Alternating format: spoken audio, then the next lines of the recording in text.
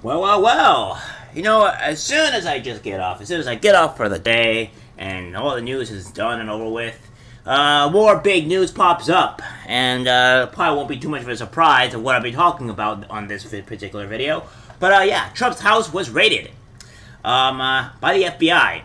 Now, we have heard that the FBI has been trying to get rid of conservatives for for a little bit, the, oh, oh, not too long ago, and um, we're having some uh, interesting cases coming up. I'll probably put in my own opinions here after the article, but uh, this seems like uh, a very huge political attack, and uh, things are not going to be so super hot when uh, uh, I, I can't believe I'm going to say this when civil war actually pops out because this is getting kind of insane, to be honest with you. Breaking: Donald Trump announces Mar-a-Lago was raided by FBI. Mar-a-Lago is currently under siege, raided, and occupied by a large group of uh, FBI agents, the former president said in a statement around 7 p.m. on August 8th. Nothing like this has ever happened to a president of the United States before, said, said, Trump said in a statement. After working and cooperating with the relevant government agencies, this announced raid on my home was not necessary or appropriate. The purpose of the search was not immediately clear. Trump noted that, that agents executing a search warrant even broke into his safe. The Justice Department has accelerate its investigation into the January 6th attack on the Capitol and further examine Trump's actions to overturn the 2020 elections as well as to remain in power, according to The Hill.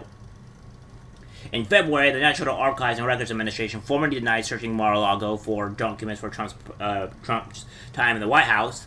Throughout the course of the last year, NARA obtained the uh, cooperation of Trump representatives to locate presidential records that had not been transferred to the National Archives at the end of the Trump administration. The National Archives wrote in a statement per Newsweek when a representation informed NARA in December 21 that they located some records. NARA arranged for them to be secretly transported to Washington. NARA officials did not visit or raid the, the Mar-a-Lago property. I don't even know if it's going to be, is it real, honestly, if it's pronounced N-A-R-A or just NARA. So I'm kind of just, kind of thinking it's just N-A-R-A, but who knows. I, at this point, it doesn't really matter. Um, uh, let's continue. Uh, Trump is currently in New Jersey near the Trump National Golf Club Bedminster. I stood for America's sporadic cooperation. I restore power to the people and truly deliver for our country, like we have never seen before, Trump wrote. The establishment hated it. Now, as they watch my endorsed candidates win big victories and see dominance in, in our polls, they are trying to stop me and the Republican Party once more. He called for the witch hunt to be exposed and stopped. I agree. This is an obvious political attack. And we know that DOJ and the FBI are quite honestly not the greatest group of people as of yet.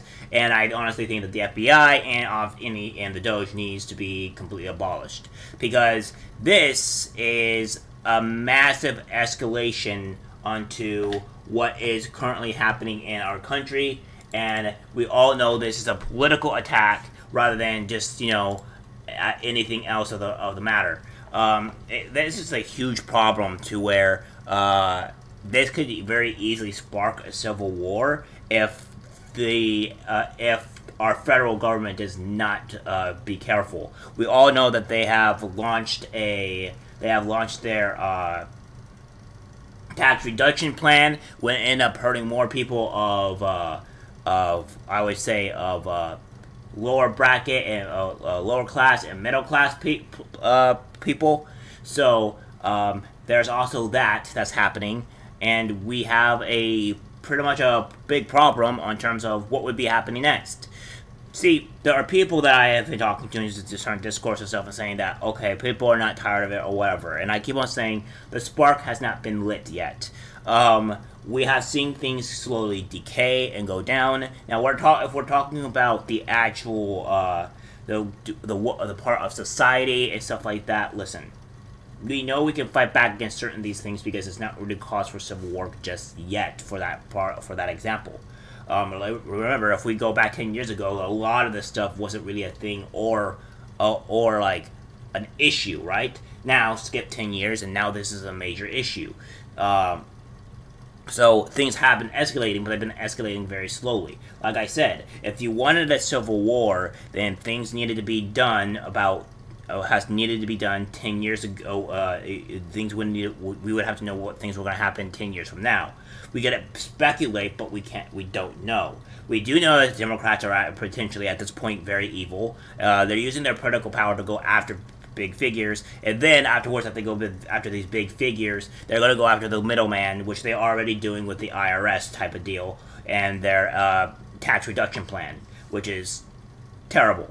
Um, people are going to start wondering why are our taxes going down? Why are why is our taxes going up? Why is the inflation going up? Why is everything that we're what everything we're doing have to cost more money? And that is because the people that you voted for are doing this to you. Unfortunately, we have a lot of stupid people that still don't want to see reason or refuse to see reason, and I think that a lot of our people are, are ignorant. Then have people like some people in my family members that want to completely refuse to see the truth because they're they can't critically think or they're just too dumb. So there's also that. Uh, I do think that we need to uh, enlighten people and make more people aware of what's going on. And by all means, I do not want. I'm not angry because this happened to Trump. I'm angry this happened to fucking anyone, and it would be the same thing if a Republican went after a Democrat for political reasons as well. Um, nothing should be political, and we all know this is political. Uh, they have not like this is quite obvious at what it is. And if we go into continue this specific article, this new article of what we have as of today, FBI's Mar-a-Lago raid could stop Trump from running in 2024, legal analysis says. Uh, U.S. Code Title 18, Section 2071 states that whoever having the custody of any such record proceeding, map, book, document, paper, or other thing, things, uh, willfully and unlawfully conceals, removes, mutilates, obliterates, falsifies, or destroys the same shall be fined under this title or imprisoned not more than three years, or both and shall forfeit his office and be disqualified from holding any office under the United States.